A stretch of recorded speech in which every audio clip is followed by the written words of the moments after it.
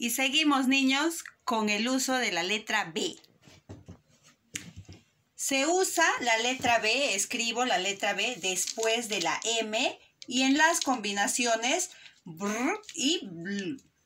Ejemplo, cambiar, pueblo y cobre. También se usa en las formas del pretérito imperfecto del indicativo ir y todos los verbos terminados en ar.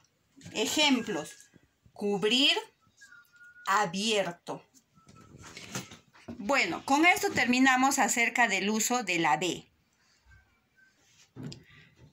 Ahora, niños, aprenderemos el uso de la letra V.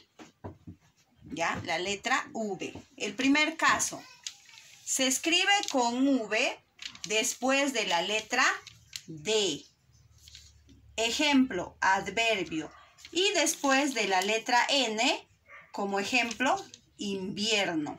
También tenemos otro caso acá, el segundo caso. Se escribe con V los pretéritos indefinidos e imperfectos. Y el futuro de los verbos. Estar, tener, andar y sus compuestos. Por ejemplo, tuve, estuve y estuviera. Y acá tenemos como tercer caso, se escribe con V las palabras que comienzan con na, no o pop. Ejemplos, nave, noviembre, navegación. Bueno niños, con esto concluimos nuestro tema acerca del uso de la B y de la V. Ahora les invito a ustedes a resolver las fichas que quedaron pendientes como tarea. Nos vemos hasta la próxima.